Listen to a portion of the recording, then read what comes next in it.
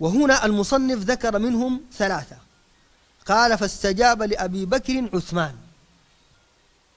عثمان وهو ابن عفان ابن أبي العاص ابن أمية ابن عبد شمس.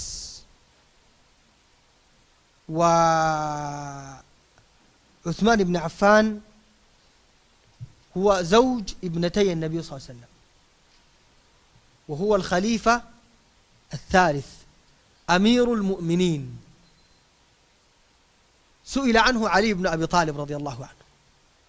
طبعا الناس نحن ده قرينا في المناهج وشوفوا يا أخواننا خطورة المناهج.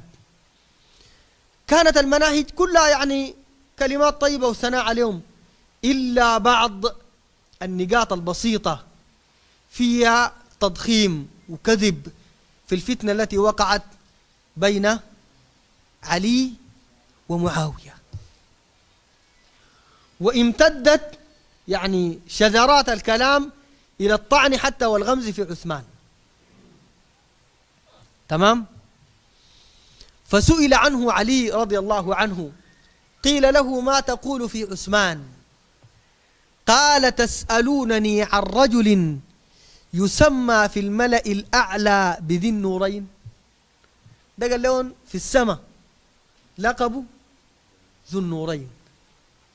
لأنه تزوج اثنين من بنات النبي صلى الله عليه وسلم.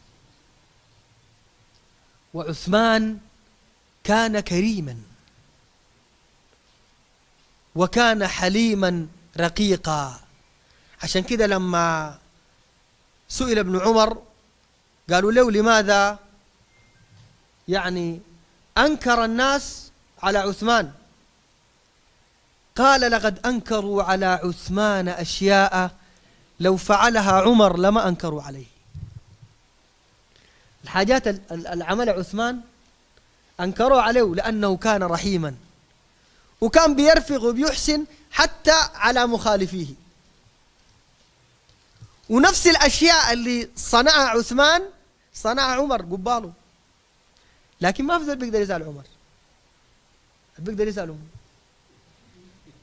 ها؟ ما في زول بيقدر يسأله لكن عثمان كان هينا وكان لينا وكان كريما ها؟ وكان عنده حياء شديد.